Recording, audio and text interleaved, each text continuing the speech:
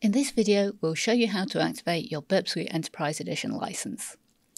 The first time you log in, you'll be prompted to activate your license key before you can begin using the product.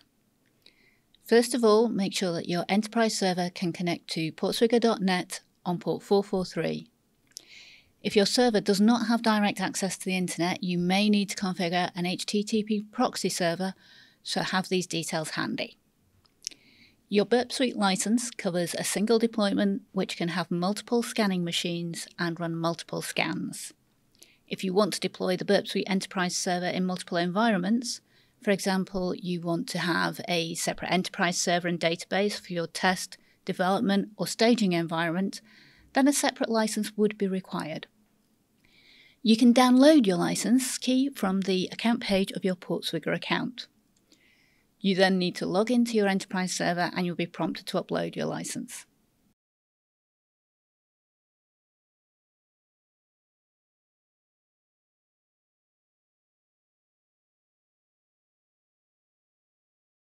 If your license is activated successfully, the system displays a confirmation message showing the details of the license key.